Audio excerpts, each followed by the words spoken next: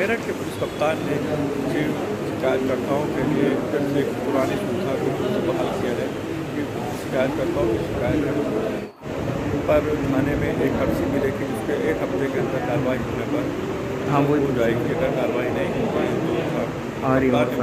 कप्तान के अनुसार उस थाना अध्यक्ष पर कार्रवाई की जाएगी और उसके हिसाब